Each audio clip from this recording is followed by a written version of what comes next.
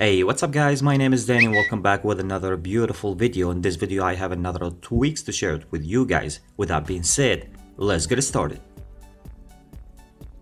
Okay, so the first tweak that I have for you guys in today's video, which is going to be the BassDrop. And what is that tweak is going to be providing you with is going to be uh, let you to customize some sound and add sound to your iDevice once you plug your iDevice by the charging and if you want to keep it on default look let me just plug it right now to showing you guys what the sound is.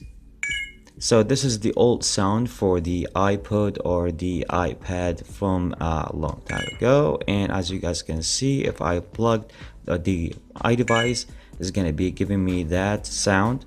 If I unplug it it's gonna be giving me same thing. And then also you can customize that under the settings Okay, under the settings here, so the first thing that you need to do to enable the tweak and then after that if you want to turn on or disable the charging sound and then also as I told you guys you can customize the charging sound so you can add uh, anything that you want and then you can customize the sounds. Simply just tap here and then you can add anything that you want and then after that once you plug your iDevice by the USB cable you will be hear that sound on your iDevice. It's a nice and cool tweak to set it on your iDevice. There you go guys, BassDrop.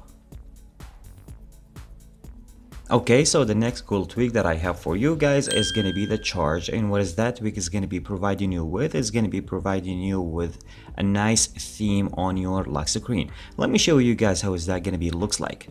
Power off my device and I'm going to be plug my device right now to charge it and check this out how cool that is. So once you uh, plug your device it's going to be providing you with that theme which is really nice and amazing. If you want to set it on your iDevice let me just plug it again showing you guys how that looks like.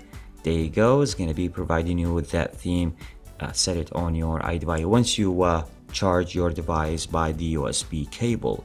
Let me show you guys under the settings because that tweak is going to be providing you with a more than theme and I'm going to be showing you guys right now under the settings how is that going to be looks like.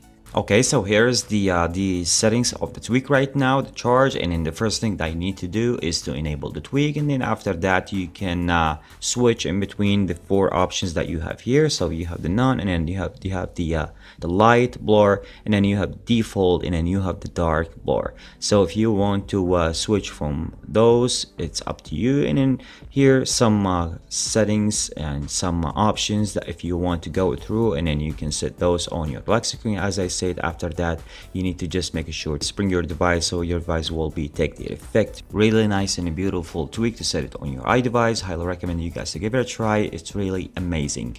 Charge.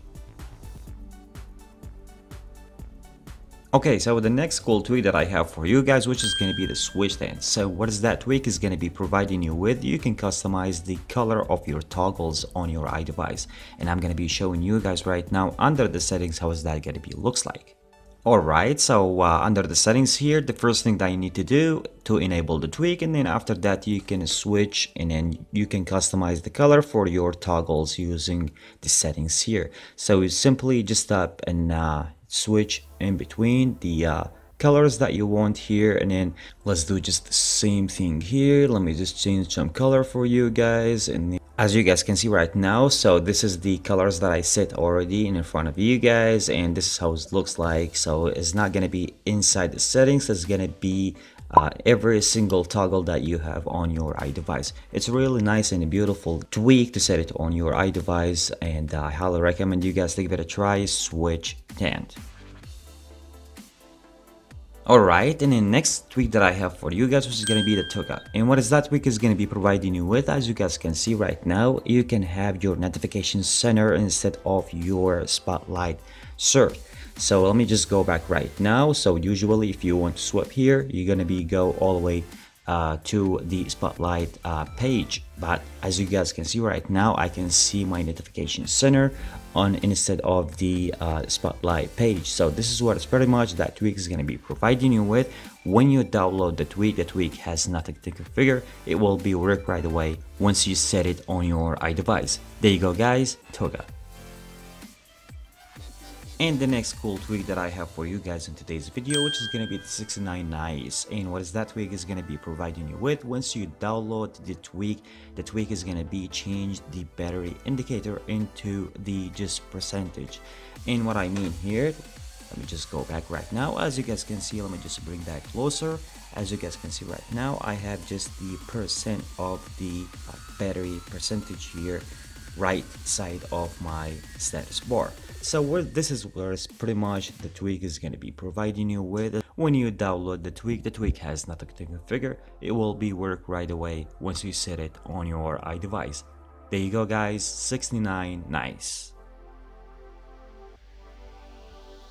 I hope you guys enjoyed today's video. If you liked the video, please give it a big thumbs up, subscribe for my channel for more videos, and I see you guys in next video. Peace.